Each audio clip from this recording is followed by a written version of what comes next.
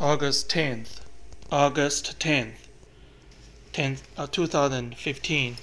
I want to talk about uh, there's one item missing. I couldn't find.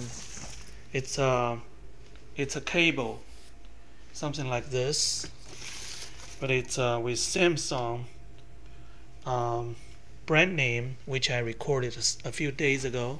I put it in a small small plastic bag and put in my backpack, but it's not here any longer. And uh, I think it was stolen um, by the burglar. And they put a lot of trash into my.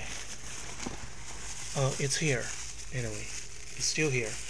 They put a lot of trash into my into my. Uh, this afternoon, I, I searched this bag before I went to that uh, uh, place, uh, Zaxby on Mile Road it was not here this afternoon. Um, or before I went to the library, I searched this bag, it was not here. So somebody during this time between it was missing and uh, between the time now they put uh, into my backpack, either got into my locked car or something. And uh, it's, it's still here. I thought it was stolen.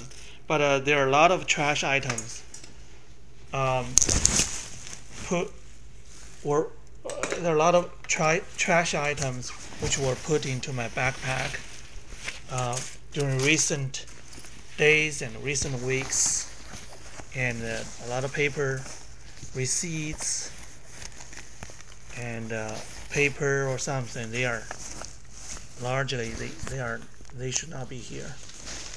All these items they should not be here. It happened quite quite often. From time to time, every time after certain days, after a number of days, I cleaned this bag. Gradually, those uh, burglars uh, they got into my locked car and put some items gradually, more and more items gradually into my backpack, uh, like old receipts, paper, or something. Um,